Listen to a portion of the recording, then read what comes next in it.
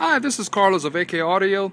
Today we got a G-Body box. Uh, this box will fit the 1980s uh, Monte Carlo SS, uh, Buick Grand National, and the Cutlasses, and many others. This box was made for uh, Tony of Tyler, Texas. Uh, Tony wanted the box for a 2-kicker L7 10-inch, and uh, he wanted it wrapped in black. So this box is dual chambered, and it's dual ported, as you can see right there. It's a little dark there, but the, the box is wrapped in black. Let's walk over to the side. Okay, over here, you probably seen my previous videos where uh, we got these little, uh, I'm going to call them notch outs or uh, cutouts. Uh, these are for like uh, when you change out your uh, factory 4x10s and you want to put some aftermarkets and most of the time your aftermarket is it's a little bit deeper than the factories.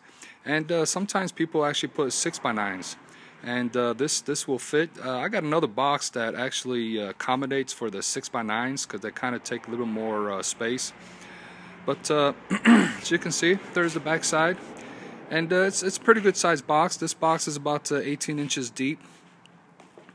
And also, if you look over to the side, this box actually fits underneath the back deck. If, as you can see, it's it will sit on the shelf and it'll kind of slide all the way to the to the back seat and as you can see the front is kind of uh, is kind of taller.